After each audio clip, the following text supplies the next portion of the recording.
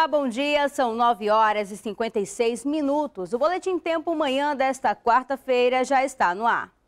Na noite desta terça-feira, um vigilante foi vítima de latrocínio. Os criminosos roubaram o colete balístico e a arma dele. Os detalhes com o repórter Danilo Alves.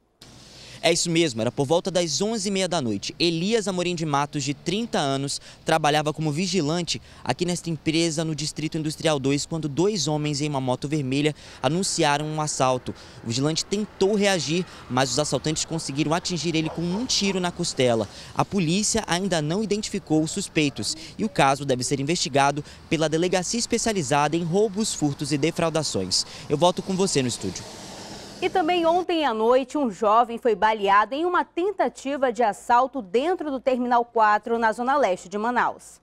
Era por volta das 8h30 da noite. Lucas da Silva Brandão voltava do trabalho quando foi surpreendido por dois homens armados. Segundo a polícia, o rapaz reagiu ao assalto e foi atingido com um tiro de raspão no abdômen. Em seguida, os dois bandidos fugiram em um ônibus. Moreno e o Lourinho, eram dois. Aí botou a arma na cabeça dele, aí o movimento dele na hora foi foi bater na arma, ele caiu, o rapaz baixou a arma, aí ele correu, quando ele correu, o rapaz deu o um tiro a barriga dele, que pegou de trás para frente. Lucas foi levado para o Hospital Platão Araújo e passa bem.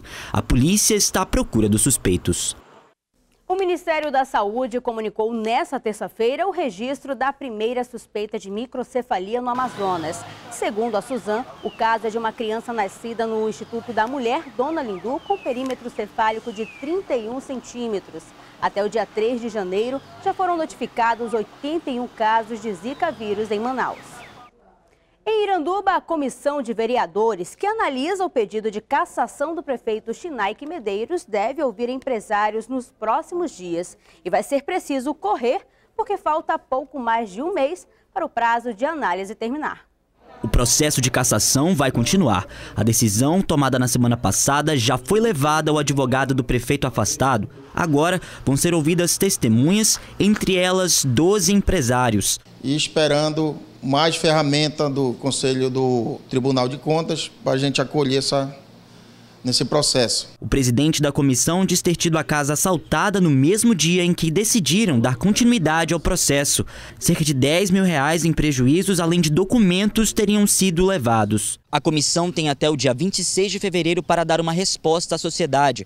Por enquanto, a administração da prefeitura quer enxugar os gastos. Em dezembro, o orçamento fechou em cerca de 8 milhões de reais, justamente para o pagamento do 13º de funcionários. E em janeiro, a prefeita quer abater ainda mais esse valor, além de dar andamento às obras inacabadas do município. Nós temos uma folha exata a partir do mês de fevereiro, porque as nossas aulas ainda vão até dia 22 de janeiro agora.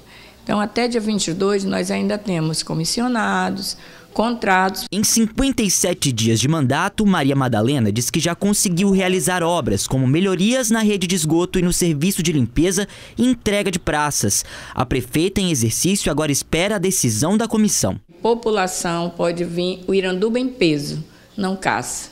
Quem caça é a Câmara. O prefeito afastado, Chinaik Medeiros, está preso no batalhão de policiamento especial desde o dia 10 de novembro, suspeito de comandar um esquema de desvio de verbas públicas e fraudes em licitações que somam 100 milhões de reais. Ele e mais quatro pessoas foram detidas na Operação Cauchi do Ministério Público Estadual. Uma semana depois, a Polícia Federal também realizou uma operação para investigar o desvio de recursos federais no serviço de transporte e educação no município. Em meio da crise política que se instalou em Iranduba, uma ponta de esperança renasce nos moradores com a nova administração, mas ainda há muito receio de que as coisas voltem a desandar. Como está recente a nova administração, né? Tá indo, vamos ver depois, né, com o tempo, como é que vai ficar, né? Enquanto se fala tanto em aumento do combustível, aqui em Manaus é possível encontrar gasolina a preços bem atrativos. Depois de um ano cheio de aumentos e reajustes, 2016 começou com uma boa notícia. Isso mesmo, gasolina mais barata. Em alguns postos o litro sai a R$ 3,49. A redução chega a 11%. Puxa, no início do ano. Coisa boa. Coisa boa. Márcia não sabia que os preços caíram. Ela aproveitou e encheu o tanque por 170 reais. Economizou 20 reais. Sonho de todo consumidor, né?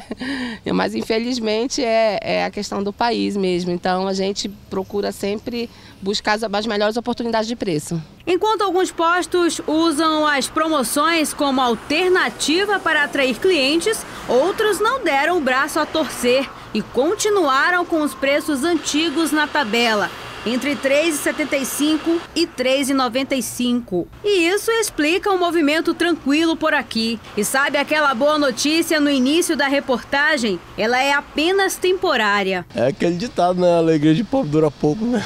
O preço aumenta sempre é demorado, o valor do preço alto. E quando baixa é rápido, é relâmpago. O movimento caiu, né? o movimento das vendas, né? a atividade econômica teve uma, é, uma regressão e alguns postos começaram a fazer algumas promoções por conta dos custos de final de ano, 13 terceiro, férias, né? os custos que são maiores no final do ano, para tentar fazer um pouco mais de caixa para bancar esses custos. Então é bom aproveitar enquanto dá, porque nos próximos meses a gasolina deve aumentar mais uma vez. E o ano começou com uma boa expectativa nas concessionárias. A venda de carros usados está aquecida. Já o mercado de carros novos, que teve queda ano passado, tenta reagir. Salão lotado de carros, clientes mesmo são poucos. Ainda assim, a movimentação é boa nesse começo de ano para quem tenta ganhar fôlego em meio à crise. Já tem gente fechando negócio, acho que as pessoas começaram a pensar: não, 2015 eu vou segurar o meu dinheiro para 2016 realmente eu realizar alguma compra. O mercado de carros novos foi o que mais sofreu com a crise em 2015. As vendas caíram quase 30%. É que além da inflação, o crédito ficou mais difícil e mais caro. Esta professora aposentada esperou para comprar esse ano e começou hoje uma longa pesquisa por um carro zero. No máximo até 35 mil. Só que alguns clientes têm preferido o contrário. Eles buscam diminuir o valor da parcela e entram em outro financiamento. Foi o que o Messias fez trocou o carro utilitário para economizar na gasolina, diminuir o valor da parcela e ter mais conforto. Agora tem um carro que posso levar minha família, né? Já um utilitário, o Fiat Strada que eu tinha, ele não dava condições para isso. Gente como o Messias impulsionou o mercado de seminovos que não vê sinal de crise. A comercialização dos carros com até três anos aumentou 38%. O financiamento em 32 meses de um carro de 20 mil reais, por exemplo, com uma entrada de 6 mil, as parcelas ficam em torno de 600 nessa loja. É, hoje ele está deixando o carrão para pegar um um carro do dia a dia, um pouco mais barato, mais acessível, com parcelas melhores. O usado já vem licenciado, emplacado e com o IPVA pago. Algumas lojas ainda dão três meses de garantia e três anos da montadora. Mas com dinheiro curto, nunca é demais analisar as melhores condições. Agora em Manaus são 10 horas e 4 minutos. O Boletim Tempo Manhã termina aqui. Outras informações você acompanha daqui a pouco às 11h05 no programa Agora. Obrigada pela audiência. Até amanhã.